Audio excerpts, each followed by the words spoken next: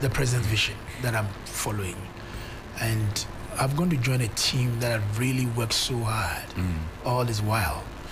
After the exit of the Americans, uh, if the current management and the board and the staff have not been steadfast, uh, I don't know where VALCO will have been today. So I've told them when I met the board and the management, I'm here to meet the larger workers, but I've met the union executives that I commend them for what they have done so far.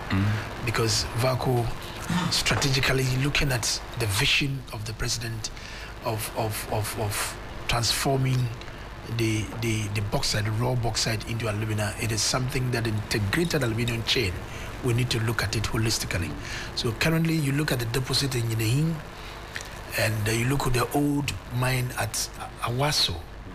Currently, there are some few deposits in Kyebi, but the majority of these deposits is in Nyinahin.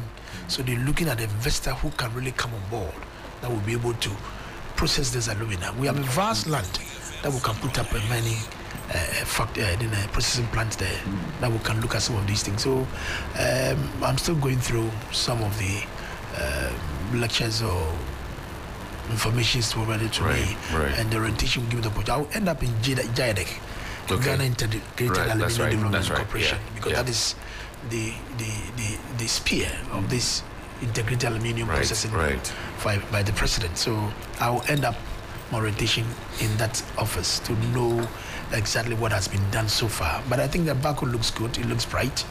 They have a good ma- management. They have a strong board and staff. And I'm going there to support the team. And I can't do an individual thing. It's a matter all. of a teamwork. At all. And um, continue to engage more and listen more. You don't need to rush because it's a technical area and you're going to feed on people.